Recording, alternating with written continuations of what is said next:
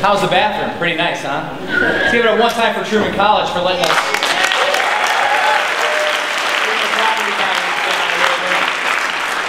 I would just like to remind everyone it is a dry campus, sir. Thank you very much.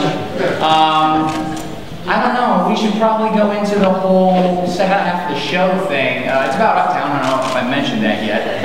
Um, maybe what's, what's the next bit? You've actually got a phone call. I've, no, I know, we can't, I don't think we should take it to a phone call. No, no, no. I I don't mean, know. it's- it's- Ah. I mean, let's start up. I don't, we, we really don't have to, because the phone lines, where we could close them too. Oh.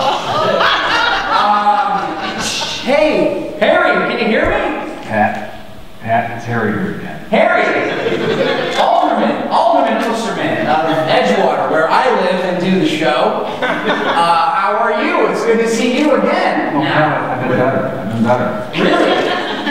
Uh, we have a microphone, that, that's good. Pat, I got a question, and I want you to be straight with me. Are you doing your show in Uptown tonight? What show? No, we do it on the first Friday of every month.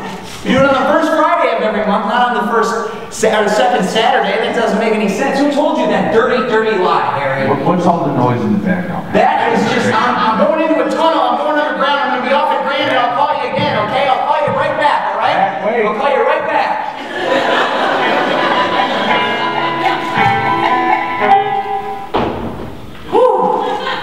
That's the, that's my, that's my uh, I feel better music. that comes on, that happens sometimes. Um,